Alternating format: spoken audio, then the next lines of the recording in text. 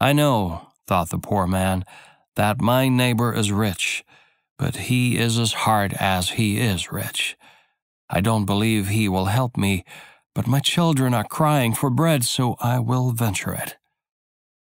He said to the rich man, You do not readily give away anything that is yours, but I stand here like one who feels the water rising above his head.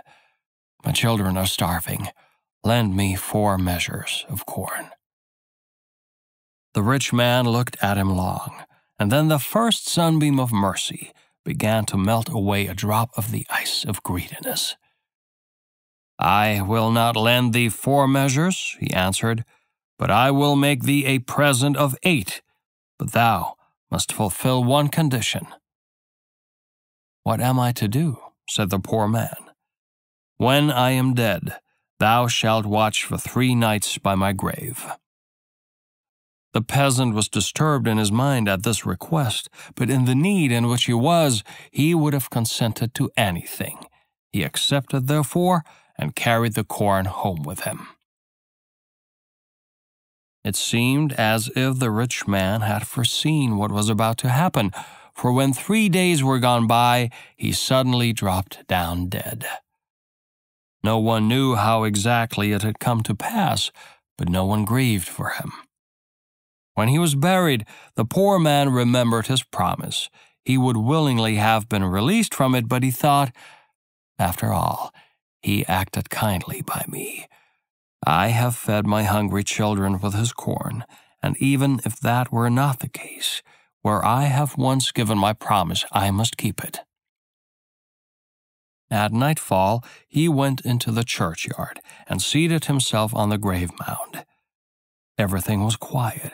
Only the moon appeared above the grave, and frequently an owl flew past and uttered her melancholy cry.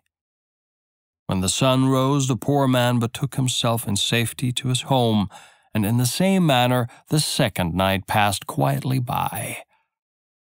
On the evening of the third day, he felt a strange uneasiness.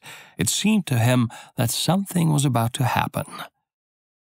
When he went out, he saw, by the churchyard wall, a man whom he had never seen before.